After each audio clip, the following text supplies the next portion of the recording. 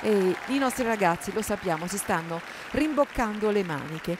E chi invece sta crescendo già in fretta sono questi ragazzi quarti classificati nella danza, Caitlin Weather e Andre Poge, e si presentano sulle note di un brano di Céline Dion, Vol.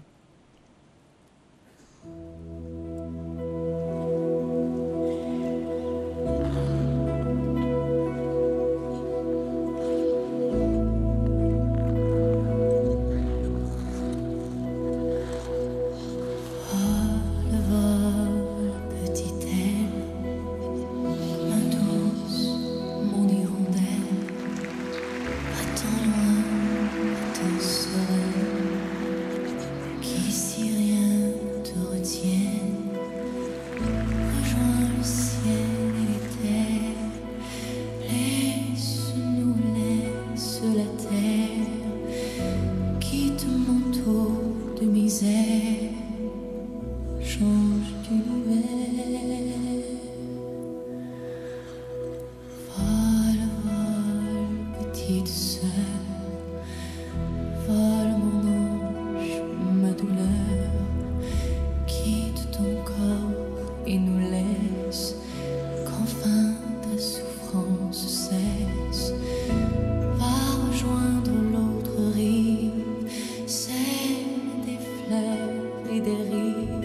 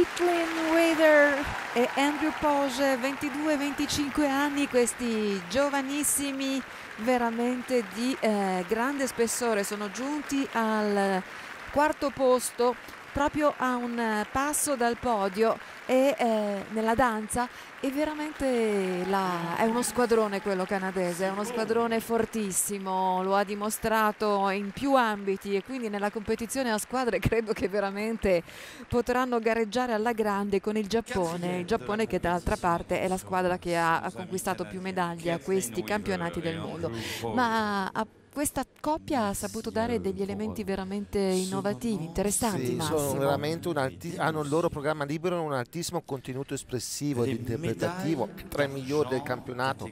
Che ammirevole poi Kathleen che ha continuato a pattinare nonostante la ferita al ginocchio. Ed eccola, ecco colei che ha conquistato la medaglia d'argento in ambito femminile, Alena Leonova, la russa 21enne, prima dopo il programma corto poi eh, un programma libero non proprio impeccabile, eh, il quarto programma libero ed è riuscita a mantenersi comunque il secondo posto la medaglia d'argento, a guadagnarsi questa medaglia d'argento e ha dichiarato dopo la competizione non ci credevo, ci ho creduto soltanto dopo un po' e dice ho ricevuto molti messaggi tra cui quello del mio mental coach ma questo ma non vi dico quale sia stato il contenuto qui la vediamo conturbante sulle note di Young Love is as Black as Night di Melody Gardot.